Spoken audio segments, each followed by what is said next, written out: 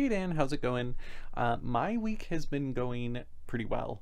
I have been working on various things related to DaVinci Resolve and video editing and stuff, so that's been nice to develop skills in those areas. I now feel very comfortable in DaVinci Resolve uh, with the Fusion, Fusion page for animations, that type of thing, for the Fairlight page for audio editing, and yeah, just really enjoying it. Um, I have ordered the studio version of DaVinci Resolve, and with it comes a speed editing keyboard, but that has been back ordered.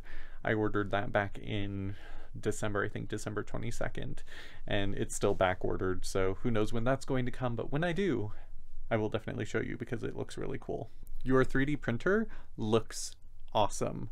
Um, I can just imagine how much that is going to be put to work between you and Zeb, for sure. So also I am doing the D&D campaign The Lost Mines of Phandelver uh, with Stuart and Linda and the kids and that is going really well.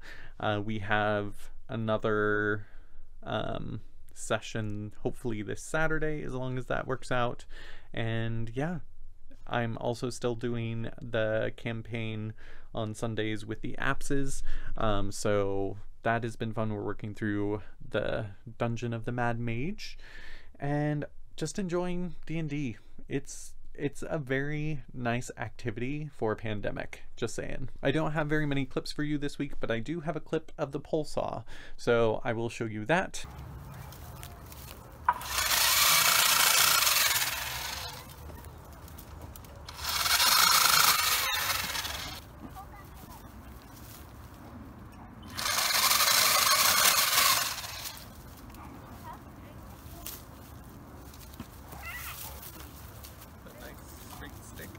Yeah, actually, I will use that with my garden.